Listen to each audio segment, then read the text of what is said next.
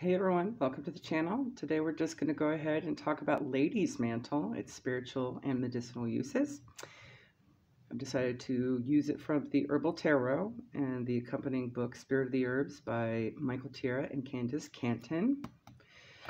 And we'll just learn a little bit about what's going on here, okay? Uh, they have Lady's Mantle paired up with the Queen of Cups in this deck, so that's what you're seeing, all right?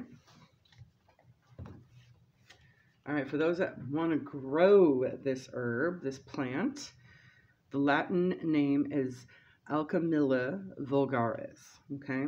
Spiritual properties. This herb symbolizes the power of control, especially over the emotions relating to others. It can therefore help overcome an excessive dependency on another and thus help evolve a greater sense of our true worth and needs. Medicinal properties. Lady's mantle is primarily used to regulate menstrual bleeding. It can be used both internally and externally, such as a douche, for treating leukorrhea, which is vaginal discharge, and it could also be used for treating diarrhea. Okay. Dose or preparation. Note, this herb should be avoided during pregnancy. Okay.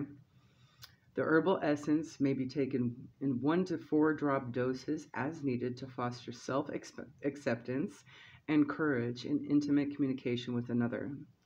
Carry a small pouch of dried herb as a talisman to foster the power of self acceptance in one to one communications with others. Medicinally, the herb can be given in a standard infusion using up to one ounce of the leaves steeped in a pint of boiling water for 10 to 20 minutes. Two or three cups may be taken per day. Take 10 to 30 drops of the tincture three times each day. The herbal allies for this plant is chase berries, raspberry leaf, and black, black haw. Okay? There you go, guys. Hopefully that helps. Have a good one. Bye.